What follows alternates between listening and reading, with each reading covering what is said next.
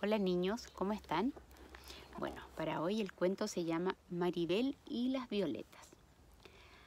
Maribel había salido de compras porque su mamá estaría de cumpleaños. Entonces, mmm, dijo, ¿qué le regalaré a mi mamá? Ya sé, buscó un pañuelo muy bonito y antes de dárselo se le ocurrió que podía llevar también un ramillete de flores como regalo.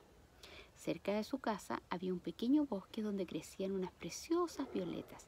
Maribel pensó que un ramo de violetas estaría muy bien porque a su mamá le gustaba aquel olor. Pero cuando fue a arrancar la primera violeta, oyó que ésta le decía, ¿qué le decía? No me cortes, por favor, no me cortes. A Maribel le pareció muy raro que la flor hablara. A lo mejor son imaginaciones mías, pensó. Pero cuando se dispuso a cortar otra violeta, ésta también le dijo, aspira mi perfume, pero por favor déjame seguir con mis amigas.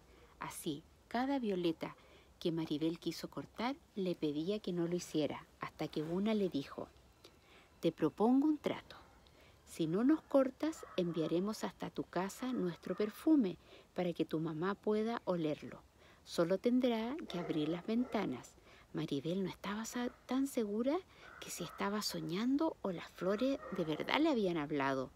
Pero lo cierto es que a la mañana siguiente, que era el día del cumpleaños de su mamá, cuando le dijo a su mamá que abriera las ventanas porque un intenso de perfume de violetas llegaría hasta ahí, la mamá la miró y no le entendió, no creyó lo que le estaba diciendo su hija. Pero al abrir la ventana se dio cuenta, mmm, qué rico olor, y es olor a violetas. Claro que sí. La mamá estaba muy feliz mirando a su hija como si estuviera diciendo fantasías. Pero lo que más me gusta es este pañuelo tan bonito que me has regalado.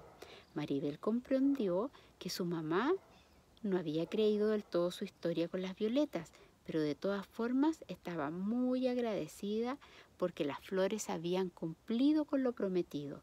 Desde entonces Maribel siente gran cariño por las flores y las plantas y se ha convertido en una jardinera tiene una preciosa colección de maceteros a los que riega y cuida con mucho cuidado y amor por la naturaleza.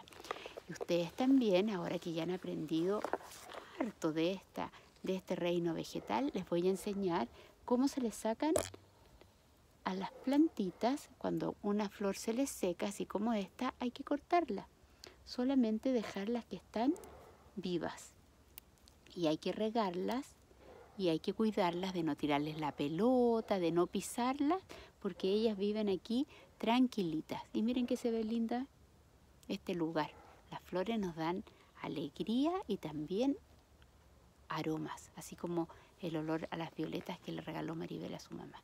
Y colorín colorado, la historia de hoy ha terminado. Chao.